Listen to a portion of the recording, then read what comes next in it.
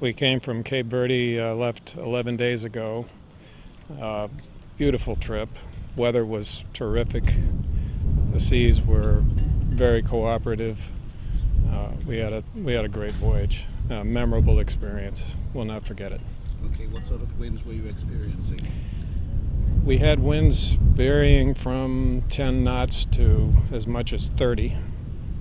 When you're headed downwind, though, as we were in the trade winds, those winds, the effective wind you feel is 10 to 11 knots less. So it's very comfortable. I wore t-shirts and uh, shorts the whole trip, day and night.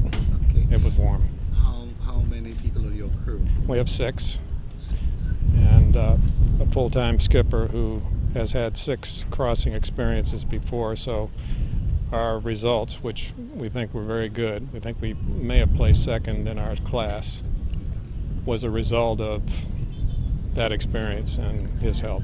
Is this the first time for you? This is the first time for me. I've had some offshore sailing experience in the U.S., but this is a trip that has been on my bucket list for years. And it's not going to be your last. I'm not sure. We'll see.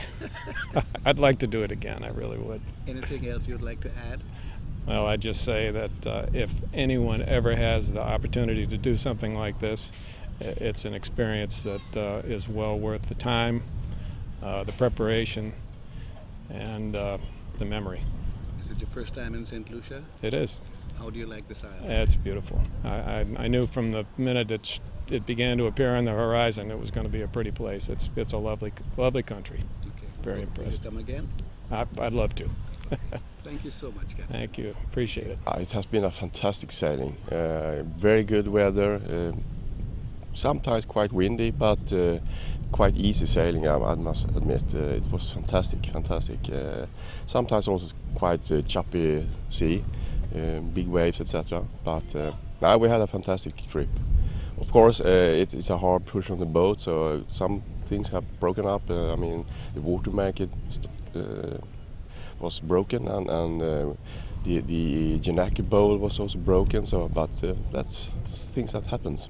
Okay. Yeah, Uh, how many crew do you have? we have five. Five. Yeah, Tell me, what did you place? we are. We were the, the boat crossing the line first in our uh, group. In your- uh, in your class? Yeah, in the class. Yeah, yeah, Okay. yeah. Right, but then the handicaps. And But, but like yeah, we, it might be that we are the second boat after the uh, recalculation with the handicap. Tell us about St. Lucia. It seems to be a fantastic. We, we arrived yesterday evening, so uh, we haven't been uh, looking around here so far, but uh, we will do that today. And, and uh, but the, the, the harbor is fantastic, really big and, and uh, easy to, to, to, to stay here. Is it the first time for you? Yes, it's the first time here. Will you come again? Hopefully, you never know. What do you have to say to people who have not crossed in the ARC? they should do it sometimes in their life. It's, it's a fantastic uh, experience. Okay. Yeah. Thank you, sir. Thank you. Thank you. Bye bye.